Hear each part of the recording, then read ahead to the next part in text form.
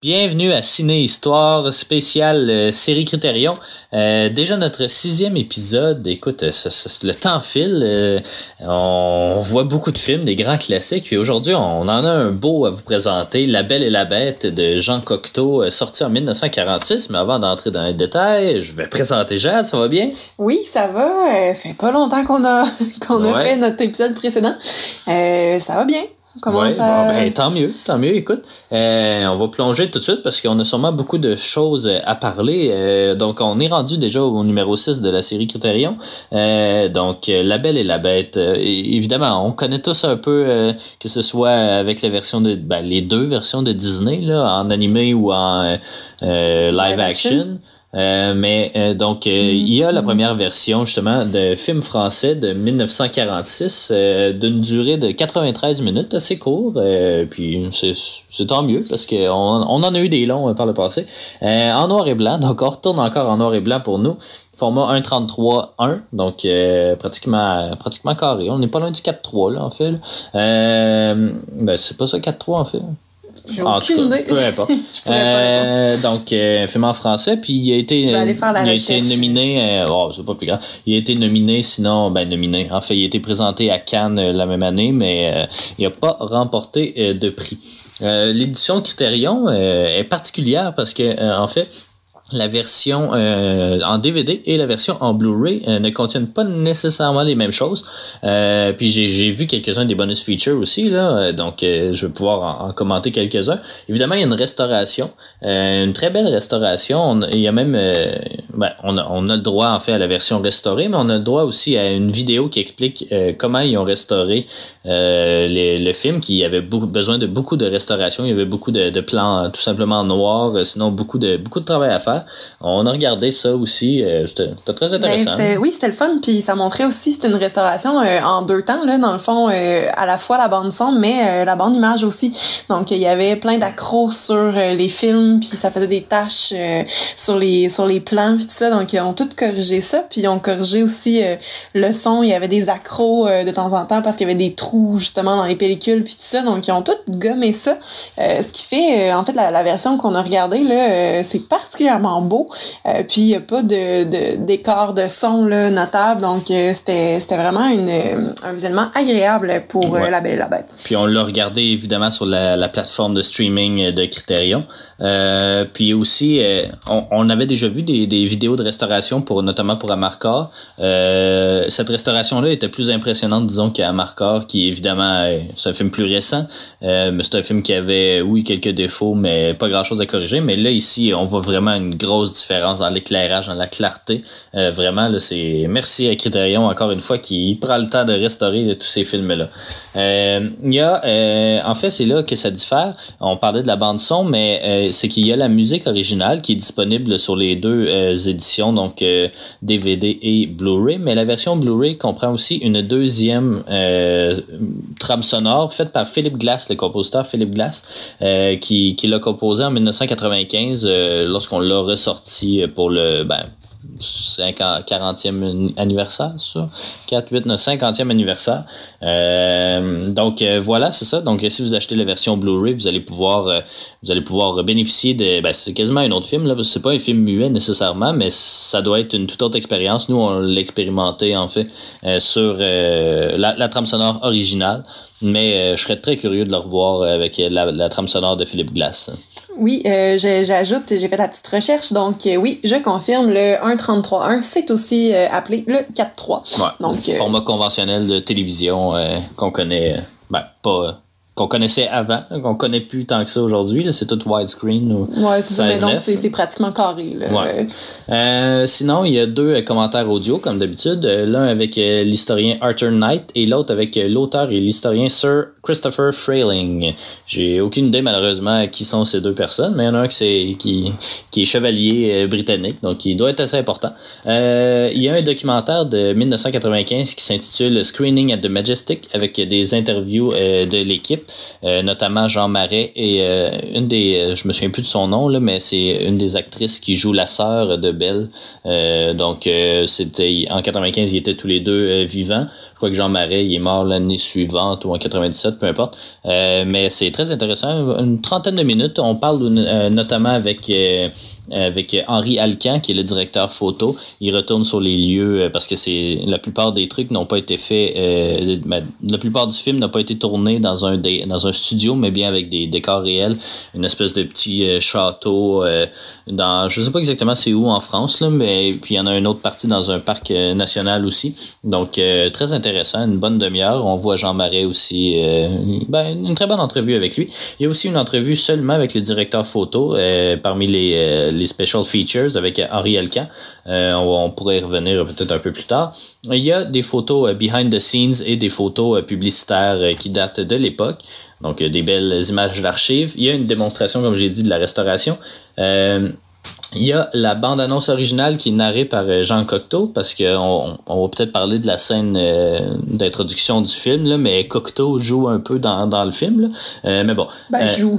Ben, il joue. On, ouais. pourra, il joue on pourra en jaser, là, mais je, voilà, on, va y revenir. Ouais. sinon, il y a des nouveaux sous-titres euh, revus améliorés, mais bon, c'est en français, on n'en a pas besoin. Euh, puis, dans le petit livret, en fait, c'est un essai par le critique Jeffrey O'Brien, un extrait de la biographie de Cocteau par Francis Stigmuller, une introduction de Philippe Glass et un, ben, ça disait un piece of the movie. Je sais pas exactement c'est quoi, là, mais c'est l'édition Blu-ray aussi qui possède ça. Je sais pas si c'est. Parce que j'ai déjà acheté ça pour, je pense que c'est Batman euh, The Dark Knight Rises. J'avais acheté un, beau petit coffret, puis j'avais un morceau de la pellicule euh, du film original. Ah, donc, euh, ben, je sais pas si c'est original, probablement pas au prix que je l'ai payé, là. mais, donc, je sais pas si c'est la même chose pour le coffret Blu-ray, mais c'est ça, c'est seulement pour le Blu-ray et non pas pour le DVD. Euh, je te laisserai euh, enchaîner avec l'histoire, une histoire qu'on connaît tous un peu. On la connaît, mais euh, en fait, c'est que Cocteau a pris quelques libertés là, face au, au, conte original. Donc, dans le fond, euh, je, vais faire un petit résumé, là, un petit résumé, oui, c'est bien dit. Ben euh, bref, le, La Belle et la Bête, ça, ça commence, là, ben, on peut euh, partir de, de là, là, de, du vraiment du début de la présentation. Donc, on a au départ Cocteau qui écrit les noms des, des acteurs puis le titre sur un tableau avec une craie. donc, comme si on était à l'école, dans le fond, là, puis comme s'il s'adressait directement à des enfants. ensuite, il y a une espèce de, de petit texte euh, qui, euh, qui nous dit finalement que l'enfant l'enfance pardon euh, croit ce qu'on veut bien lui dire. Donc il nous dit dans le fond si je vous si je vous présente une bête qui est fâchée parce qu'on a pris une rose dans son jardin puis que ça crée des querelles familiales ben faut croire ça puis faut adhérer à ça. Donc c'est un peu je sais juste pas comment, comment toi t'as vu ça, mais moi je, je, trouvais ça particulier de nous faire dire euh, ça n'a aucun sens, mais c'est ça qui est ça, donc acceptez-le. Mais c'est un peu ça qu'il fait avec, euh, avec l'ouverture, là. Je sais pas. ben, j'ai trouvé, ça, j'ai trouvé euh, ça original, en fait. c'est sûr que c'est ça, il a l'air un peu de nous faire pas la, la morale, mais, mais tu sais, c'est ça, il veut vraiment que ce soit plus qu'un divertissement, mais un apprentissage, je crois, ce film-là. donc, bon, ça dépend de chacun de nous comment est-ce qu'on est-ce qu'on le perçoit, mais moi j'ai trouvé ça très original euh, comme ouverture, comme introduction. Puis aussi après, je, je sais plus c'est, lequel des trois éléments là, euh, dans l'ordre, mais après il y a un, un claquement de ben, de claquettes de cinéma là. Euh, ah puis c'est ça, donc là ils sont comme prêts à tourner puis tout ça, fait qu'on on rentre un peu, c'est, comme briser le quatrième mur au début, c'est c'est, c'est spécial un peu, mais c'était. Mais après ça ils leur font peu non, ben, ils font plus, puis ils plongent dans l'histoire. Voilà, donc euh, La Belle et la Bête commence euh, avec les deux sœurs de Belle. Euh, je me rappelle pas vraiment leur nom, là, de toute façon, c'est pas super important. donc, les deux sœurs de Belle qui se préparent à une petite sortie au village. Puis, il y a à l'extérieur du de leur chambre, dans, dans le terrain du château, ben, de, de la maison, en fait, il y a leur frère puis son ami qui est Avenant, euh, qui est joué par euh, Jean Marais. Euh, eux tirent des flèches pour le plaisir. Puis là, il y a une flèche qui atterrit dans, dans la chambre des deux sœurs. Donc là, à ce moment-là, on, on les rencontre un petit peu. On réalise qu'ils sont les, les deux sœurs pas des super bonnes personnes. Là, sont un peu fâchées, disent que ça aurait pu les tuer, les atteindre et tout ça, leur crever les yeux. puis les deux gars, tout ce qui tout ce qu'ils demandent par la suite, c'est si Belle était dans la chambre parce qu'ils voulaient pas la blesser. Donc là, on peut, on peut comprendre les sœurs à ce moment-là, je pense, de, la jalousie qu'elles ressentent envers envers Belle, mais on, on, insiste un petit peu là-dessus en fait. C'est il y a toujours cette espèce de, de contraste là entre les sœurs et Belle sur leur qualité morale et tout ça que, que les sœurs ben ont pas là du tout. Euh, donc ça commence comme ça. Euh, le père ça fait penser euh, un peu à, Cendrillon ou d'autres ouais, d'autres ouais. récits là, Disneyesques disons là qu'on connaît quand même assez bien. Parce que là tu m'as fait regarder aussi la version animée pas longtemps oui, après on a regardé la version de Disney pour, pour comparer j'avais vu la, la, live action avec Emma Watson puis de comparer ces trois versions là ben dans, dans celle de Disney ben dans les deux versions de Disney en fait Belle n'a pas de sœur, puis elle vit tout seul avec euh, son père. Avec donc, euh, celui-là, c'est c'est c'est pas le cas en fait a des sœurs. Euh, je sais pas si dans le récit original aussi a des sœurs. Oui ben en fait euh, j'en j'en parle plus tard là mais dans le récit original ils sont six enfants. Euh, par contre euh, ils semblent vraiment insister sur les sœurs puis Belle. Donc euh, les autres c'est c'est trois gars trois filles là puis les autres on les voit pas vraiment. Euh, donc c'est- Ouais. je je sais pas trop pourquoi il y en avait six puis qu'on le- qu'on en a pas trop parlé des autres mais euh, bref six euh, dans le récit. Puis euh, trois euh, ben quatre en fait dans le, le film de de Cocteau. Ben, trois. ben quatre, dans le fond c'est ça les trois filles puis le frère aussi. deux filles euh, deux filles non mais non mais enfants.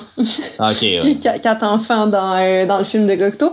Donc euh, c'est ça. Après nous avoir présenté les euh, les sœurs, le père s'en va conclure une espèce de de, de marché là. Dans la version de Disney, il est inventeur. Dans celle de Cocteau, je je sais pas trop qu'est-ce qu'il fait, marchand, Marchand, quelconque. ouais, marchand. Puis il s'en va conclure un, un marché justement. Puis il demande à ses filles qu'est-ce que vous voulez que je vous ramène? Donc là, les sœurs, ils veulent ben, des, des vrais objets et tout ça. Puis Belle demande tout simplement une rose parce qu'il n'y en a pas euh, où est-ce qu'ils sont. Puis euh, Belle... euh, Et tout- qu'elle est marginale. Mais c'est Et- ça. Puis les, les sœurs aiment pas vraiment ça. tu sais. Euh, en fait, les sœurs d'abord rient d'elle, de, de sa demande. Puis, euh, ben là, vous le savez, c'est pas une grosse surprise, mais... dans le voyage du père, il va arriver au château de la bête, puis euh, voler une rose dans son jardin parce que c'était une belle rose qui l'attirait. Il en avait pas trouvé pour sa fille, il voulait euh, lui ramener comme euh, comme son souhait. Et euh, la bête va euh, le condamner à rester prisonnier de son château parce que voler une rose, c'est la seule chose qu'on ne pouvait pas faire. Euh, il pouvait aller manger à sa table, s'asseoir, profiter de son feu, faire tout ce qu'il voulait au château, sauf la seule chose qu'il pouvait pas faire, c'est voler une rose. Donc euh, ça va pas bien. Non. Et puis euh, quand le, le père revient puis qui, euh, qui annonce ça, ben en fait, excusez-moi, euh, la, la bête va lui proposer par contre l'option de, de s'en aller si le père amène une de ses filles à sa place pour euh, pour être sa captive finalement dans le château. Donc euh, le père accepte ça, c'est un peu euh, particulier, mais bref, accepte le marché de la bête, revient chez eux et euh, à ce moment-là, quand il quand il expose le problème à ses filles, ben évidemment sans surprise, les deux autres euh, là, ben c'est ça, demander une rose, c'était bien la pire affaire que tu pouvais demander, tout ça. Donc euh, au départ riaient de la demande, maintenant sont vraiment fâchés, veulent absolument pas aider le père en, en se portant volontaire pour euh, pour la bête. Euh, Belle évidemment, ben vertueuse qu'elle est, euh, va accepter ça et euh, part tout simplement euh, dans, dans le château de la bête. Euh, à ce moment-là, ben là, quand elle arrive, c'est assez, euh, c'est assez particulier. Le, le château est, est spécial. Là, il y a des, euh, il y a des, euh, mon Dieu, des des chandeliers qui, euh, qui s'allument. euh, oui, c'est ça. Qui s'allument tout seul quand, euh, quand elle passe. Euh, Il y a. euh, ils sont tenus aussi de- par, par des mains c'est oui, ça qui sortent par des, euh, par des bras qui sortent des murs. Là. Euh, Donc, il y a ça dans les, dans les couloirs. Dans sa chambre, il y a plein de vignes, il y a plein d'arbres, il y a plein d'affaires euh, de, de, de nature, de forêt, tout ça. Euh, les statues il y a, c'est bougent. ça, il y a des statues qui bougent un peu partout dans le château. Il y avait aussi euh, autour du foyer, euh, deux, je sais pas comment qu'on appelle ça, là, mais les, les contours vraiment de, du foyer qui sont des personnes aussi. Ça ressemble un peu à des, euh, des statues de mode bateau, là, euh, ben, de, Ouais. de, de devant de bateau, en fait. Là. C'est, c'est exactement ça le visuel, mais c'est aussi des personnes en plâtre qui, que leurs yeux bougent, et il y a de la fumée qui leur sort de la bouche. Bref, il y a comme plein de choses animées dans ce château-là.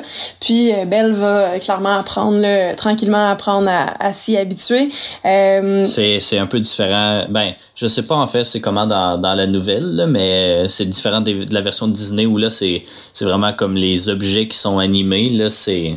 En tout cas, c'est sûr que c'est fait en 1946, là. Peut-être ben, que... en fait, on pourra, on Ah, pourra bon, revenir. non, bon, non, bon. mais je, je, Je mais pas, pas. pas nécessairement ça, mais bref, on pourra revenir sur euh, la, la façon d'adapter. euh, Il y, a des, il y a des choses qui sont mises de côté dans euh, le film de Cocteau, d'autres que Disney euh, a pris euh, plus, là, a mis plus à l'avant dans son film. Donc, euh, oui, il y, a des, il y a des belles différences là, à, à analyser. Mais c'est ça, donc euh, au départ, euh, quand, quand elle se rencontre, la belle et bête, Ouais. la belle et la bête, pardon, euh, quand elle se rencontre, la, la bête lui dit, à chaque soir, je vais vous poser la même question, je vais toujours vous demander si vous voulez être ma femme, et euh, c'est ça, dans le fond. Donc, euh, on comprend pas trop pourquoi, tu sais, mais euh, bon, au départ, Belle dit non toujours, puis euh, éventuellement, Belle s'ennuie trop de son père, euh, malgré qu'elle a un miroir qui lui permet de voir pas mal où elle veut, là, euh, à l'extérieur du château, même à l'intérieur aussi. Euh, elle, décide de voir son père, voit qu'il qu'il est super triste, euh, puis tout ça, donc décide de retourner à la maison pour une semaine. Et euh, après ça, elle promet à la bête qu'elle va revenir. Ses sœurs, par contre, et ben ses sœurs avenant et euh, leur, leur aussi, euh, ben, décident que ça se passera pas comme ça, que, que ils vont ils vont placer Belle dans une position de de, ben, malaise face à la bête, dans le fond, en la gardant plus qu'une semaine pour qu'elle ait menti à la bête pour que euh, à leur à leur bonheur la bête la, la mange quand quand elle revient parce qu'elle serait trop C'est pas fin. Puis ben vraiment, puis euh, en fait les, les sœurs sont comme fâchées du fait que Belle, malgré qu'elle soit prisonnière euh, d'une grosse bête monstrueuse, euh, soit plus heureuse qu'elle, euh, qu'elle qu'elle ait des cadeaux, des, des beaux vêtements et tout ça. Donc euh, elle a tout pour elle cette fille là. Elle est pas Ben capable oui. d'être malheureuse comme tout le monde, pas capable de, de pas être bonne puis de pas être fine. Ouais. Fait que ça, sont, sont pas contentes. Fait que, bref, euh, mettre en échafaud d'un plan là, pour que pour que Belle, ça se passe pas super bien à son retour. Puis finalement, ben, Belle revient, puis là, ben, la, la, la bête se transforme, tout ça, mais euh, il le fait d'une manière euh, différente là, des, des autres films. Je pourrais euh, y revenir dans quelques instants.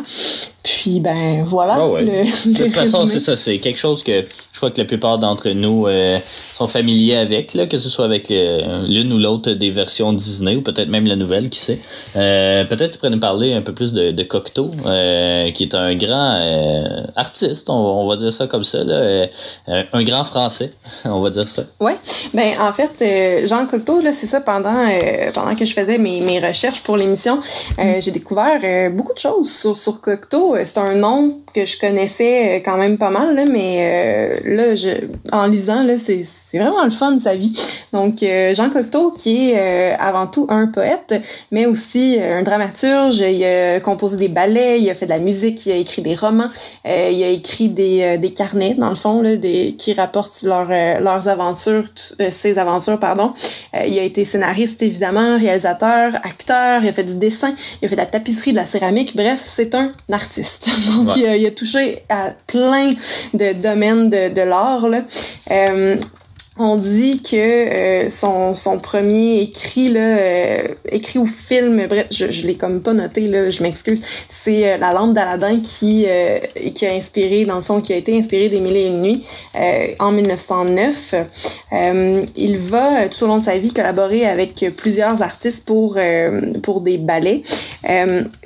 Il a fait le ballet Parade, euh, dans, qui qu'on dit euh, qui était euh, avec des décors et des costumes euh, signés Picasso, ce qui est pas rien quand même. c'est ouais. quand même vraiment le fun à, à savoir en fait. Euh, et puis ce ballet-là euh, va inspirer Guillaume Apollinaire euh, qui invente à ce moment-là le terme surréalisme. Donc encore une fois, je, je suis quand même impressionnée. Puis euh, c'est après le, le surréalisme devient un mouvement mené de front par André Breton et on dit que Cocteau était exclu de la, bande de- d'artistes avec, euh, avec Breton.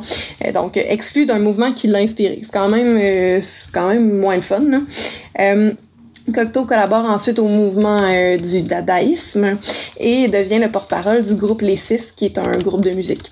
Euh, Cocteau va avoir une relation dans les années 30 avec Marcel Duchamp. Euh, Cocteau était ouvertement homosexuel et il, entretient aussi une, une relation d'amitié profonde avec Edith Piaf.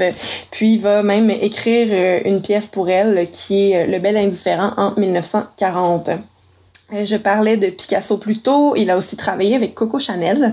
Et étant donné son, son orientation sexuelle, va être un fervent défenseur de, ben, pas, pas nécessairement des, des droits, là, mais bref, de, de cette communauté-là. Donc, il y a plusieurs critiques de l'homophobie dans son travail.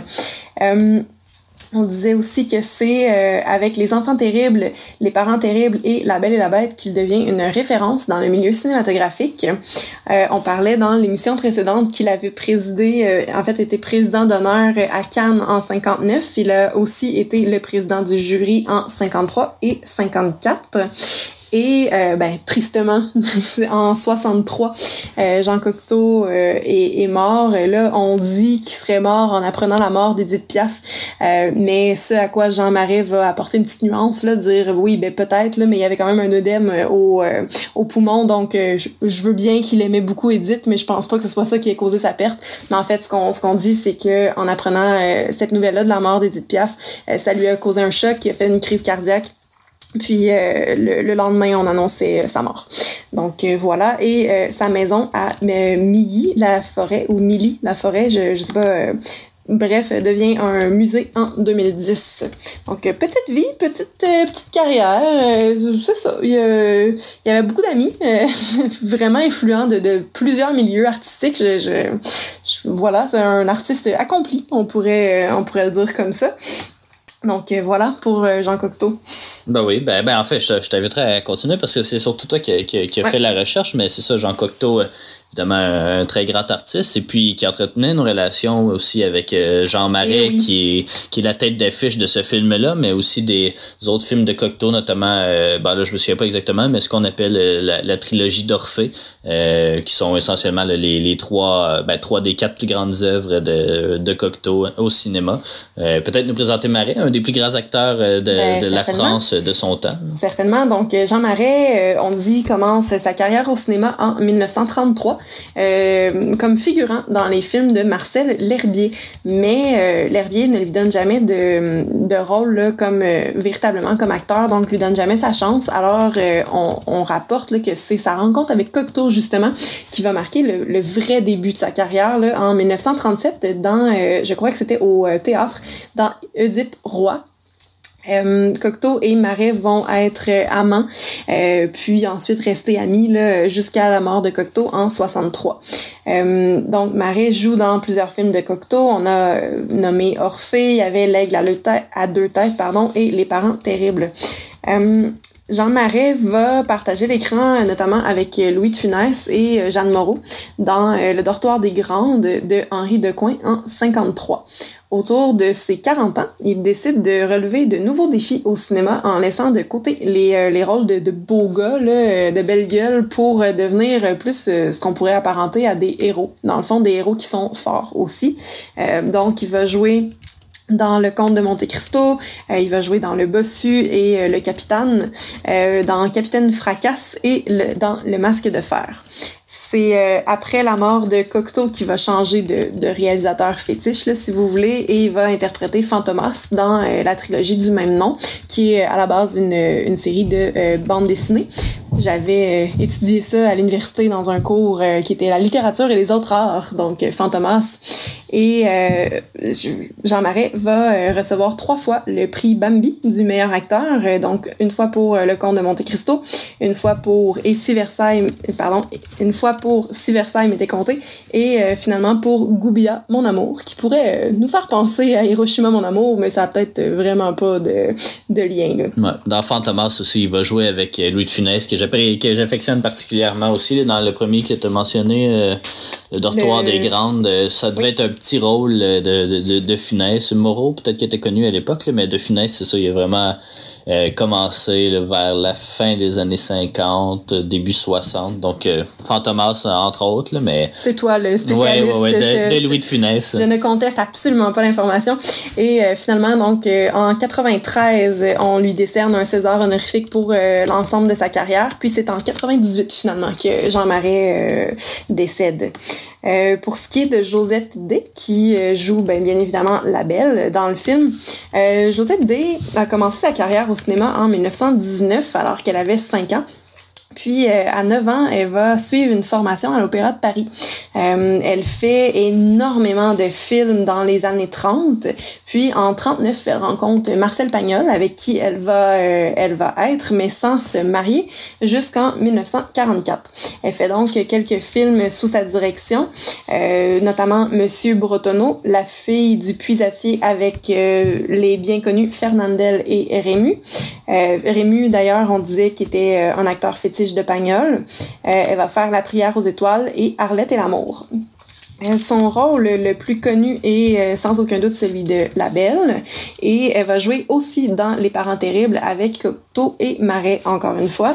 Puis euh, à 50 ans, euh, pardon, pas à 50 ans, en 50, elle cesse sa carrière pour se marier avec un, un homme d'affaires belge multimillionnaire. Ben voilà, c'est si simple ben euh, parce que voulait se concentrer sur les œuvres philanthropiques. Donc belle belle fin de vie quoi. Alors après c'est ça, il y a plus vraiment d'informations sur, ouais, ben, ça, sur pas, sa carrière. Elle pas très très connue non plus.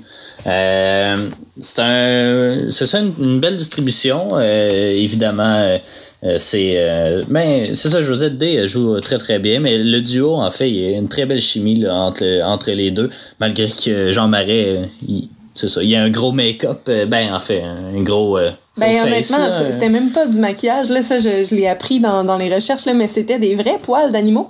Euh, ça prenait plusieurs heures à appliquer chaque jour, puis ça y a causé des réactions allergiques terribles. Il y avait des croûtes sur les mains, il y avait, il était pas capable de manger à cause des dents. Euh, il y avait comme plein de, plein de belles choses. Là, puis ça me, ça me je me rappelle en fait qu'on a écouté euh, un bonus feature qui apparaît pas sur les, ni le DVD ni le Blu-ray, mais qui sont qui sont sur euh, la, plateforme de Criterion là, sur le maquilleur du film. Euh, en fait, là, c'est pas nécessairement juste sur euh, La Belle et la Bête, c'est sur quelques-uns des autres films qu'il a fait.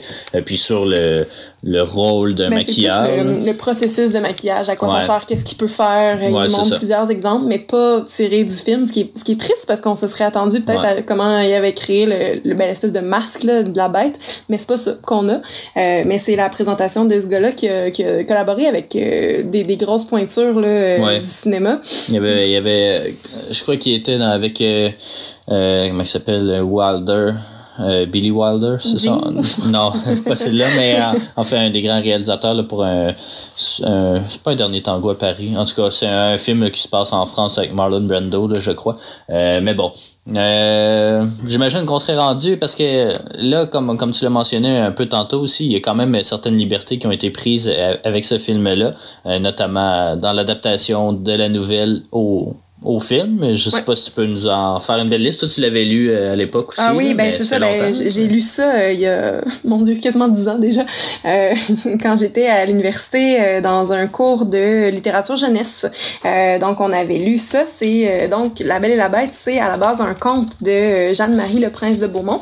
j'ai noté là, quelques différences entre les deux. Donc, c'est un, un conte, soit dit en passant, qui est très court. Là. On parle d'une trentaine, quarantaine de pages. mais ça ça, a donné quand même plusieurs, euh, suites, plusieurs adaptations et tout ça. Euh, dans ce cas-ci précisément, donc, euh, je mentionnais tantôt, dans, la, dans le conte, il y a six enfants et pas quatre il y a la place de la lecture et, et, l'affection de, de Belle pour la lecture là, qui est pas présente dans le film tant que ça. Elle l'est beaucoup dans le film, les deux films de Disney en fait. Il y a aussi tout ce qui est richesse, pauvreté là, c'est pas particulièrement abordé dans le film. dans le, le, le conte, puis dans les deux autres, là, on parle ben, dans les deux films de Disney, pas tant non plus, mais euh, on, dit dans le dans le conte que euh, il y a eu un petit malheur d'affaires, puis ça a fait en sorte qu'il y avait plus d'argent, puis là ben ses filles étaient vraiment fâchées de ça, puis Belle elle essayait de l'aider tout ça, mais on n'en parle pas dans, euh, dans le film de Cocteau. Autre petite différence, ben on dit que Belle repartait pour huit jours dans sa famille et non pas sept. Donc, euh, c'est une expression. Détail, là, mais euh, il y avait ça. Puis aussi, euh, dans le film, en fait, là, c'est ça. Il y, a, plusieurs choses là-dedans, mais dans le film de Cocteau, il y a vraiment un complot pour tuer la bête. donc, les sœurs veulent garder Belle plus longtemps pour causer la, perte de la, de la bête, là, qui vraiment va quasiment mourir de tristesse. Là. C'est, beau de même dans le, le le conte, pardon, c'est pas euh, si explicite. Là. C'est euh, oui, ils veulent euh, garder Belle pour que la, la, bête la mange et tout ça, mais il y a pas, il y a pas. En fait, le personnage d'Avenant n'existe pas non plus. donc. ouais, ça serait Gaston. Mais... Ouais, mais ça c'est dans plus les films de Disney, mais il n'existe pas, pas, il existe pas, du, tout. Donc c'est ça, il y, a, il y, a, beaucoup moins l'espèce d'idée de complot. Puis dans les films de Disney, mais ben là c'est vraiment on, on, rallie tout le village au complet là derrière. Ben en fait derrière l'idée qu'il faut se débarrasser de cette bête-là. Euh, là, on a Gaston, justement, qui est l'espèce d'avenant du film de Cocteau, mais qui euh, veut marier Belle, euh, alors que, mon Dieu, elle est zéro intéressée. Puis Gaston va euh, demander au père euh, de, raconter son histoire, sa, rencontre avec, euh, avec la bête, puis tout le, tout le village va le considérer fou. puis le, plan de Gaston, c'était de justement l'amener dans un asile pour que Belle revienne et tout ça. Donc il y a comme une espèce de machiavélisme qui, qui est pas du tout présent dans... ben, peut-être, je dis pas du tout, mais bref, moins présent dans, dans le conte. Que ce serait ça pour, euh, pour les distinctions. Euh, donc ensuite, autour du film, euh, là, c'est tout en désordre, là, ça se peut que je passe d'un sujet à l'autre, mais bref. c'est Jean Marais qui joue la bête et, et Avenant, d'ailleurs, qui a proposé à Jean Cocteau d'adapter ce conte-là bien que euh, le film soit inspiré du conte, il est euh, plus fidèle à une adaptation théâtrale de, de ce conte-là qui est paru en 1913 en Belgique. Euh, notamment, on parle de l'absence de la fée. Donc, c'est sûr que dans le film de Cocteau, on n'a pas vraiment de mention du du la malédiction, de, la malédiction qui, qui, est sur le prince là mais il en parle un, petit peu, à la fin il dit là, super brièvement que bon il était dans, dans le corps de la bête, fallait qu'il y ait une fille qui l'aime pour ce qu'il était, tout ça. Mais euh, dans le film de Disney, c'est vraiment présenté au début, euh, dans, dans l'autre film de Disney aussi. Euh, donc, quand je dis le film de Disney, je comprendrai que je parle de, de celui de 91, puis l'autre étant celui de, 2017 avec Emma Watson. mais c'est ça, donc il y a l'absence de la fée là, qui, qui est au cœur de l'inspiration théâtrale et de l'adaptation théâtrale, pardon, et de ce film-là de 46. Cocteau devait au départ faire le film avec Marcel Pagnol et euh, la compagnie Gaumont, mais euh, oups, Pagnol a laissé Josette D qui jouait la belle euh, pour Jacqueline Bouvier et là pas, pas la Jacqueline Bouvier qu'on connaît, mais bien une autre qui était une actrice française donc finalement il fera pas le film avec Marcel Pagnol. Euh, c'était euh, au départ la, la tête de la bête là devait être une tête devait être une tête de cerf. Ça, pourrait être un exercice de diction, ça. Euh, mais Cocteau avait peur que les spectateurs trouvent ça particulier, risible même pour une bête qui était supposée être super effrayante. Donc c'est finalement le husky de Cocteau qui va servir de modèle pour la tête. Puis comme je disais tantôt c'était des, des, vrais poils d'animaux. Puis il fallait environ trois heures là, pour mettre le masque euh, de, de, la bête, puis une heure pour chacune des griffes euh, que Jean Marais avait. Les dents qui étaient accrochées euh, par-dessus les siennes, dans le fond, lui rendaient impossible de manger. Donc il devait se nourrir de bouillie. Puis il en parlait dans son autobiographie qui, qui a sorti vraiment plus tard là, à quel point c'était un petit peu pénible comme, comme expérience, comme tournage dans, dans l'un des bonus features, justement, on, le voit, ces, ces images behind the scenes là où euh, c'est même Josette Day là, qui le nourrit vu qu'il est pas capable avec ses mains non plus de, de faire grand chose. Donc euh, on les voit assis, euh, Cocteau, Day puis Marais autour d'une table, puis ils sont en train de, de chiller, là, mais c'est ça, avec, avec tout son costume, puis on voit que ben, il y a du fun, mais il. C'est ça. Il, aimerait ça manger autre chose que du, que du ou euh, d'autres affaires de même. Pas sûr que ça existait en 46, mais ah, on ben, comprend le principe. Ben, c'est ça. Euh, de, la Belle et la Bête, euh, c'est dans, dans un livre là, sur les meilleurs films du siècle, il est écrit pour ce, pour ce titre-là que chaque plan étonne. On croirait voir s'animer des tableaux de Vermeer et des gravures de Gustave Doré. J'ai trouvé ça très beau comme citation, puis en même temps, mais c'était vraiment des, inspirations explicites. Donc, euh, Cocteau euh, s'était inspiré de tableaux de Vermeer pour ce décor et tout ça. Donc, euh, c'est pas, ça sort pas de nulle part. C'est vraiment quelque chose que lui-même a admis. Là. Ouais, c'est ça. Cocteau lui a dit, l'a dit à Alcan, le directeur photo, qui, qui en était à un de ses premiers. Il avait fait un autre film avant avec l'assistant réalisateur. Là, j'ai plus son nom, là, mais c'est un, un grand réalisateur français aujourd'hui. En tout cas, il faudrait que je le revoie. Mais c'est ça. Puis il y a toute cette question, oui, de, de décors, parce que Gustave Doré, c'est ça, c'est des gros, des, gros dessins en noir et blanc avec de tempêtes, puis de brouillard, puis, puis c'est vraiment ça qu'on ressent. Quand, j'ai vu quelques images de Gustave Doré, je me sentais vraiment dans, La Belle et la Bête. puis c'est ça, il y avait Vermeer, puis il y en avait un autre, je me souviens plus, quelque chose de Hock. H-O-O-C-H, ça doit être un autre euh, peintre néerlandais, euh, mais euh, ou flamand. mais non, c'est ça. Puis c'était sa première expérience. C'est vraiment intéressant de l'entendre parler aussi sur comment faire. Il, se laissait beaucoup guider vu que c'était pas des, des films, ben, pour la plupart tournant en studio. Euh, il se laissait guider vraiment par la lumière du jour, puis là, il fallait vraiment attendre qu'il soit telle heure en particulier pour bien illuminer euh, telle maison. Donc, euh, c'est, c'est, vraiment très intéressant de, de, le voir dans les, dans les, dans les features de, que Criterion offre sur ses éditions. Merci. Ah oui. euh, ensuite, euh, ça disait aussi dans, dans, nos recherches, les scènes extérieures euh, du film ont été tournées dans plusieurs régions françaises, là, proches d'abbayes, de châteaux ou de moulins. Et les scènes intérieures ont toutes été faites en studio. Puis aussi, ah, ben, je viens de me souvenir de quelque chose aussi. ça, ça faisait beaucoup peur. Ben, vous savez que le noir et blanc, ça, ça a besoin d'un éclairage particulier puis de teinte particulière. c'est, c'est probablement pas l'un des premiers films, mais c'est peut-être celui qui, a mieux été le fait, c'est que tous les décors ou presque sont noirs. Euh, puis le noir, ça fait peur euh, au directeur photo puis au réalisateur dans le noir et blanc parce que c'est impossible à illuminer ou à peu près parce que ça absorbe toute la lumière que tu y donnes.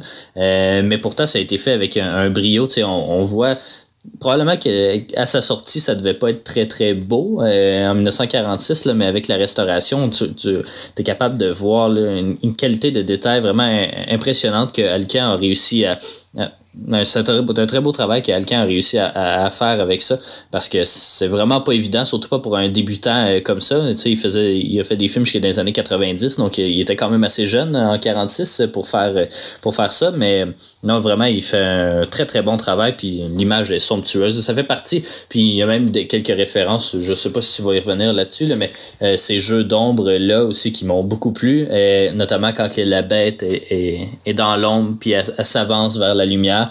Euh, Disney a fait à peu près la, même chose dans sa version animée. Je me souviens plus pour la version de, 2017, là, mais euh, c'est vraiment, c'est ça, ces jeux d'ombre-là, derrière, avec des fonds noirs à, l'arrière, vraiment, c'est somptueux.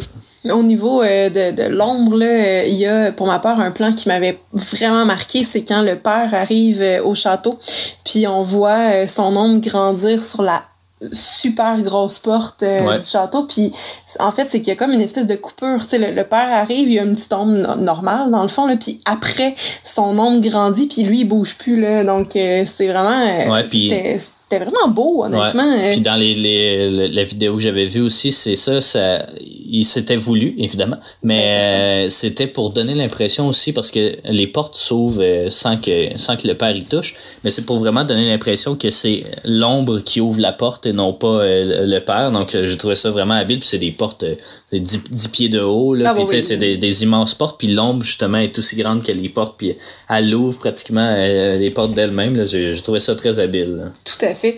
Euh, donc, euh, on, poursuit euh, avec les infos sur le film. je vous disais tantôt que le, masque, là, c'était des vrais poils d'animaux. Donc, le tournage a dû être interrompu en raison de crise de maladie allergique de Cocteau. Puis, Jean Marais, ben, il y avait aussi des crises d'eczéma dans le visage. à la sortie du film, Cocteau avait peur que ça fonctionne pas du tout parce que la tendance en, en, France dans ces années-là au cinéma, c'était au réalisme. Donc, c'est peut-être pour ça aussi qu'on qu'on avait l'espèce d'avertissement au début. Je pense que ça s'insère bien là-dedans. Donc, euh, lui, il avait peur parce qu'il proposait quelque chose qui était magique, qui était mystique, euh, qui avait beaucoup d'effets. Euh, tu sais, justement, des, des chandeliers là, qui, qui tiennent leur, leur bougie en sortant leurs bras d'un mur. Tu sais, il y avait comme plein de choses. Il y a beaucoup d'effets dans le film, beaucoup de, de, de, plans inversés, dans le fond, d'objets qui s'animent, mais qu'en fait, c'est qu'on les éteint puis on fait jouer le plan à l'envers. Là. Donc, beaucoup de, de procédés comme ça. Euh, donc, il, euh, craignait ça, finalement. Pardon. Euh, c'est aussi euh, ben, ça fait partie du merveilleux, mais je crois que c'est un, mouvement aussi pour euh, relancer un peu le cinéma d'après-guerre. Évidemment, 46, on sait qu'on sort de la Deuxième Guerre mondiale. Euh, la France a été particulièrement touchée par, par tout ça. Donc, de, de, se ramener un peu au merveilleux comme ça, oui, ça tranchait, mais je pense que la population en avait besoin. Puis je crois que la réception critique aussi, le, ben, critique et commerciale, le, démontre aussi. Oui, ben justement, la réception de ce film-là, le film a été un, immense succès. Là. Il y a eu 3,8 millions d'entrées. Euh, il était au 16e rang du box-office euh, en 46. Puis il avait reçu aussi cette, euh, cette année-là le prix Louis Deluc qui était décerné au meilleur film de l'année. Donc je pense que Paris Paris tenu euh, pour, euh, pour Cocteau. Euh, la Belle et la Bête fait partie de la liste des 50 films à voir avant d'avoir 14 ans de la British Film Institute en 2005. Ben, on l'a écouté après, mais bon, c'est pas grave. Ben oui, mais c'est Il serait quand même sur ma liste des films à voir. C'était le fun pareil. plusieurs restaurations ont été proposées entre 95 et 2013, dont une restauration numérique en 2005 par Studio Canal. En 95, on l'a déjà mentionné, mais Philippe Glass a composé un opéra à partir de ce film-là. Et euh, donc, des musiciens et chanteurs jouaient là, sur scène pendant que le film était projeté, ce qui devait être euh, comme un peu euh, ce qu'on fait aujourd'hui là, avec Lord of the Rings, Harry Potter, vraiment des, des versions là, où tu peux regarder le film en ayant un orchestre. Là, ben, c'est un peu ça. mais là, il y avait des, des chanteurs aussi. Là, donc, il n'y a, pas de, y a pas de chanson dans le film. Là, donc, je sais pas trop où est-ce qu'ils ont fait ça, mais ça devait... Ben, on l'a pas, entendu. mais peut-être que c'est de là que, que vient euh, les, les, que viennent les chansons de Disney. En fait, euh, qu'on se demande ben non, parce que c'est le contraire, mais, en fait. Euh, parce que le film est ah sorti avant. Ben mais c'est probablement... ben, c'est ça, on l'a pas écouté la version de Philippe Glass, mais probablement une chorale ou quelque chose. Là. Je pense pas qu'il y ait des chansons particulières, mais une chorale. En tout cas, on pourra, on pourra aller l'écouter sur YouTube, là, je crois, parce que le, le film aussi... ben, pas, ben, la bande sonore avant qu'elle soit intégrée à l'édition Blu-ray de Criterion, tu pouvais acheter le CD, puis tu pouvais le, synchroniser avec le film aussi. Euh, pour que justement la trame sonore puisse euh, euh, jouer en même temps que le film. puis quand on l'a posté sur le groupe Criterion aussi, il y avait un témoignage de quelqu'un qui, faisait ça aussi à l'époque et qui synchronisait son, CD avec le film. Donc je crois que ça, ça a marqué. Puis ça, je serais très très très curieux de. Ben, c'est peut-être un des proches. Ben, peut-être pas un des prochains, mais c'est décidément un de ceux, je pense qu'on achèterait. Là. Oui. ben, on serait rendu, en fait, je pense, à, parler de nos impressions ouais, du ben, en fait, ah, ben, juste mon, dernier point, euh, qui était en 2013, il y a même eu aussi un ballet euh, influencé par euh, précisément ce film-là. Donc voilà, oui, on peut passer à nos oui. impressions. Je vais te donner un petit break, je vais parler de comment j'ai comment, comment vu ça. Écoute, c'est vraiment c'est un des meilleurs films que j'ai vu de ma vie, je pense. Là, je veux dire, peut-être pas dans, le top 10, là, mais comme c'est vraiment c'est un excellent film. Euh, j'étais ben, j'étais réticent, réticent au départ, mais quand on a vu la bande-annonce, parce qu'on par tranche de 10, c'est ça, on s'amuse à regarder les bandes-annonces, voir qu'est-ce qui nous attend dans la collection. Puis quand j'ai vu la bande-annonce, vraiment j'ai été accroché tout de suite là, par la beauté de l'image, la, la, qualité de la musique. Puis euh, j'ai vraiment pas été déçu. Euh, tu sais, c'est ça, j'avais j'avais vu celle la version de Disney de 2017, mais j'avais pas vu la version euh, de 91.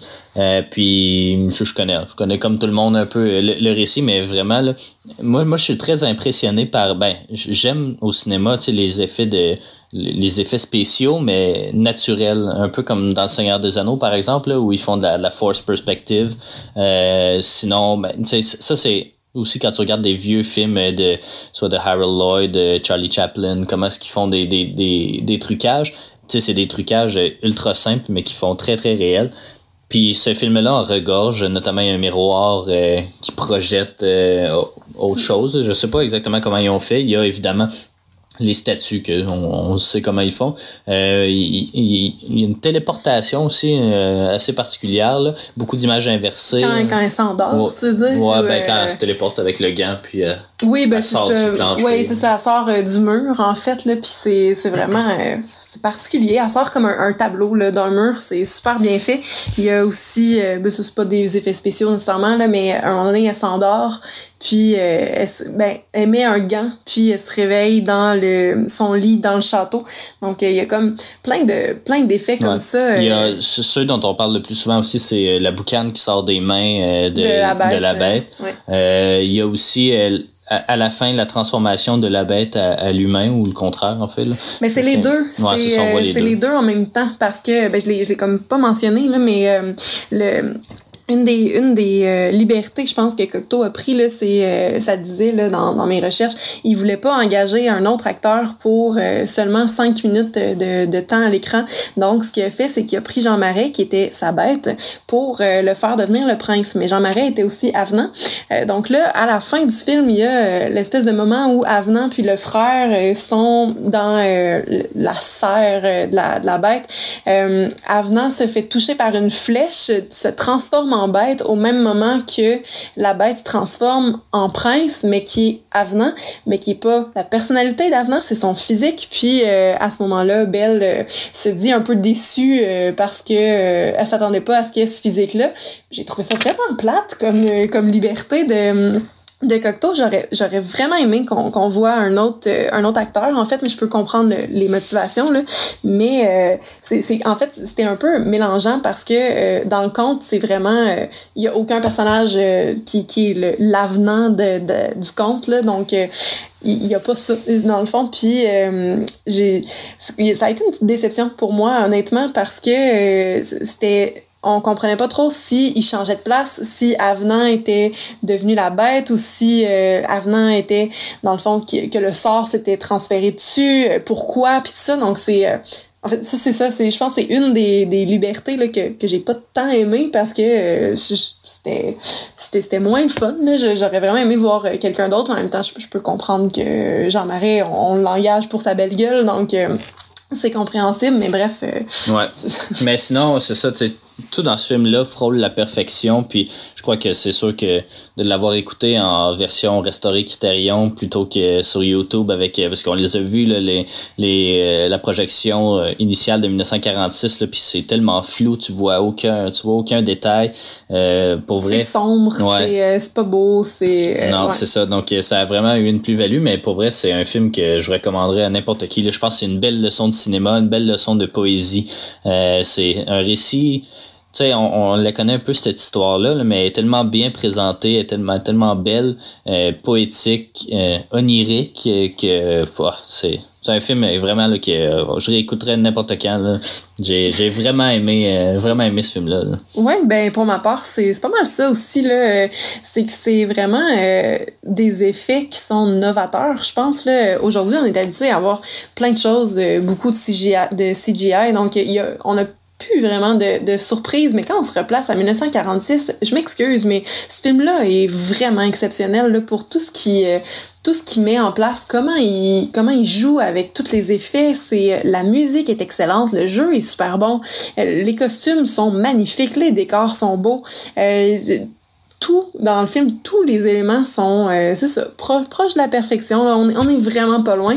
C'est quelque chose qui vieillit bien les deux, on l'a vraiment apprécié. Puis, euh, mais c'est ça, c'est quelque chose qui, qui marque là même euh, si on connaît euh, si on connaît l'histoire. On a regardé le film de Disney après, puis il nous a pas fait la même impression, malgré que le film de Disney a un avantage sur l'autre, qui est le fait que la, la bête est vraiment présentée comme méchante au départ. Puis dans le film de Cocteau, elle est juste tout le temps douce et gentille.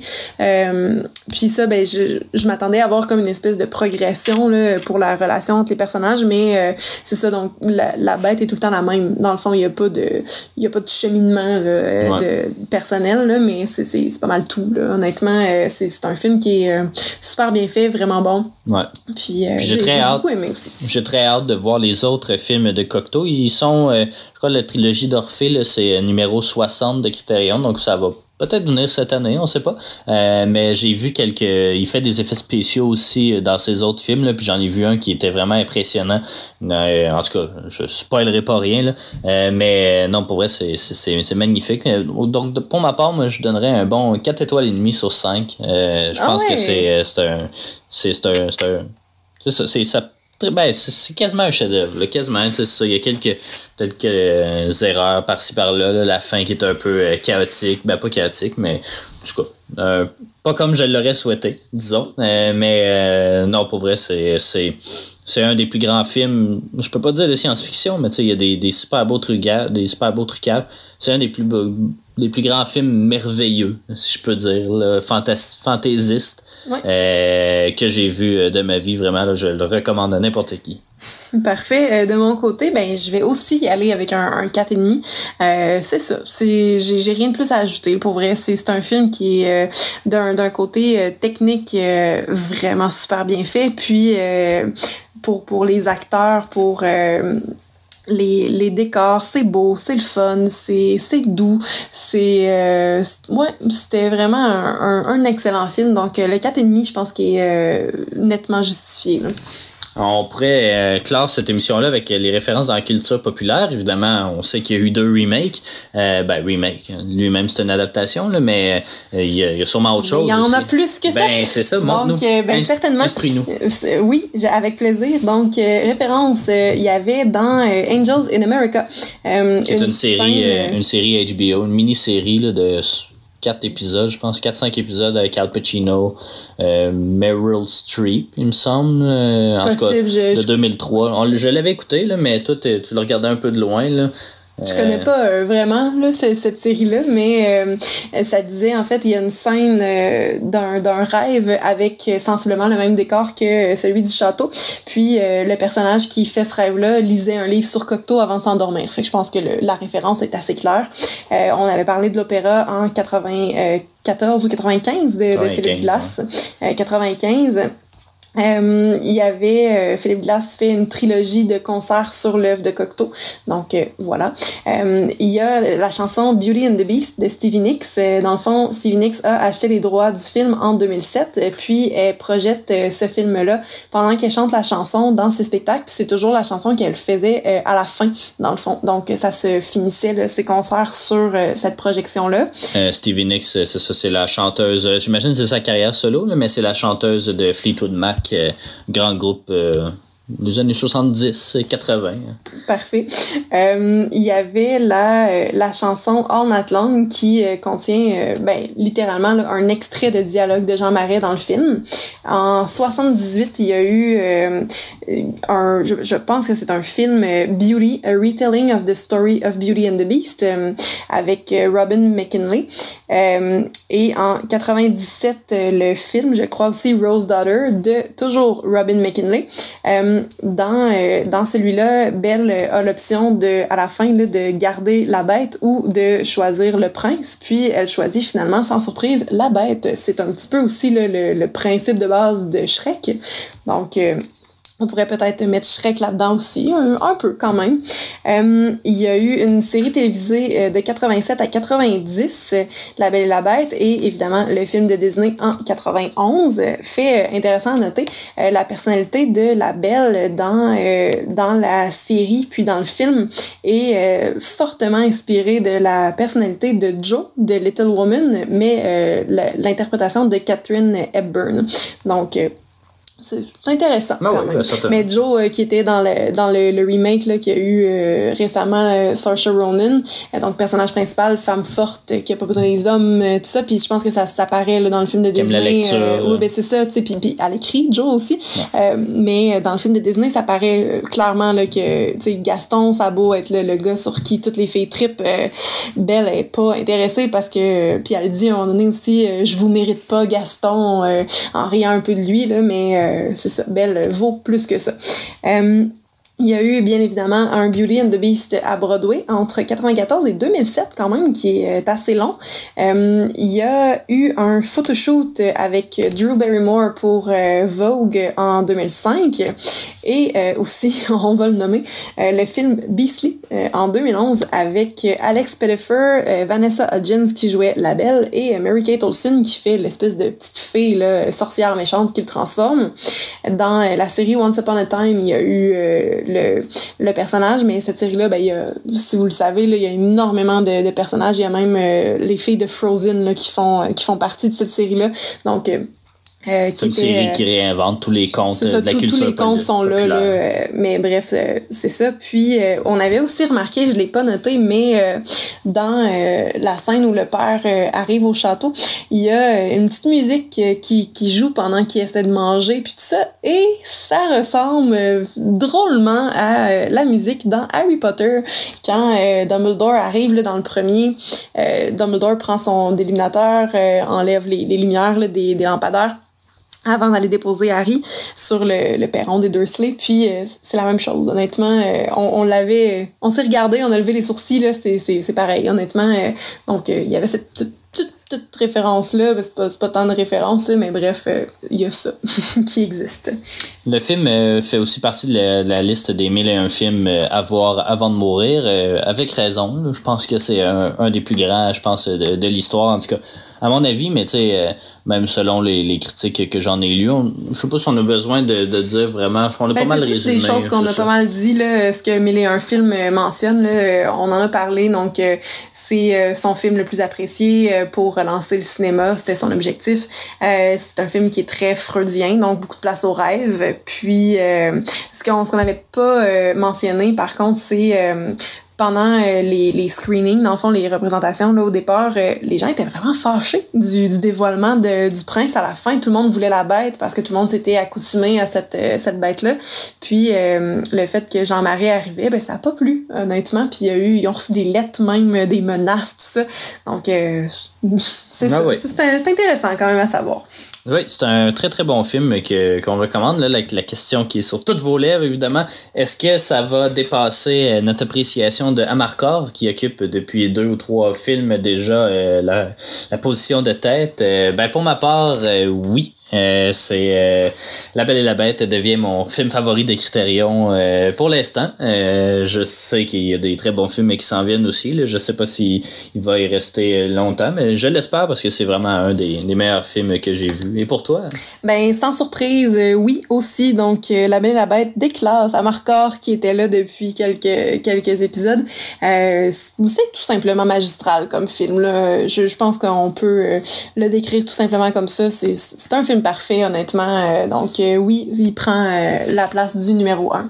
Ben voilà, hein, on espère qu'il restera longtemps, mais en même temps, on, espère qu'il qu'il restera pas trop longtemps parce que sinon, tous les films qu'on voit à partir de maintenant, ça veut dire qu'ils sont moins bons. Mais bon, je, suis confiant qu'il va être dans, les, dans les meilleurs de Criterion, à mon avis.